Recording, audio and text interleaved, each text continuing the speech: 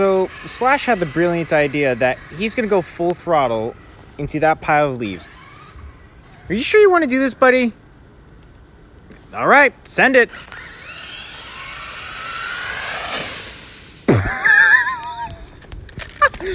Slash? Slash, you in there? Where the heck are you? Oh, come on. Slash, come here, you. Ugh. Come on. Stop doing this, Slash. Slash, come on. All right, I think you've had your fun now. No, Slash, what are you Stop it. No, now. St- I'm not helping you now.